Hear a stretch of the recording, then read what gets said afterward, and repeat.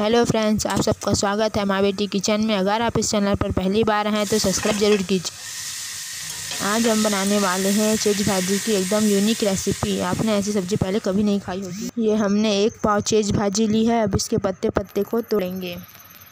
ये आप भी सभी पत्तों को तोड़ कर रख लें और डंडी को फेंक दें, क्योंकि इसकी डंडी खाने में अच्छी नहीं लगती।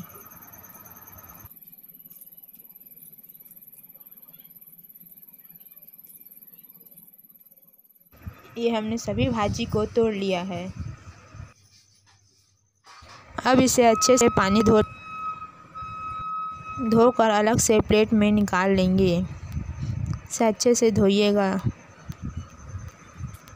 थोड़ा करके हम सभी भाजी को धो लेंगे। भाजी को धोकर अच्छे से निथार लें क्योंकि इसमें बहुत सारा पानी रह जाता है। ये देखिए, हमने भाजी को धो लिया है। अब एक बड़ा साइज़ का प्याज लेंगे और एक लहसुन की कली। अब प्याज को छील लेंगे।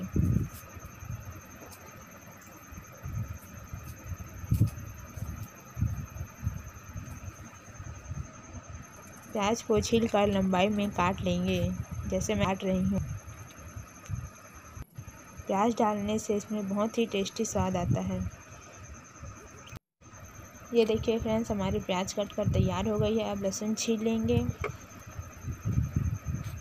आठ से दस लहसुन के कली को छील लें। अब हम लहसुन को छोटे छोटे भागों में काट लेते हैं।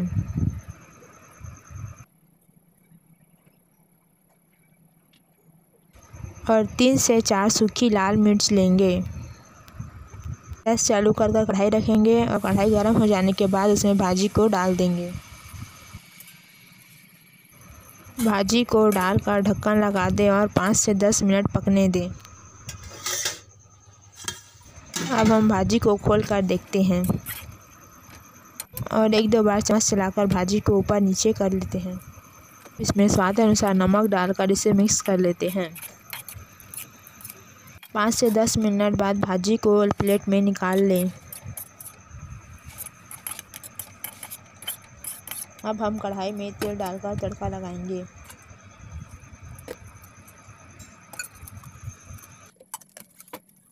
ऊँची कलियाँ हमने काटी थी उसे इसमें डाल देंगे तेल में।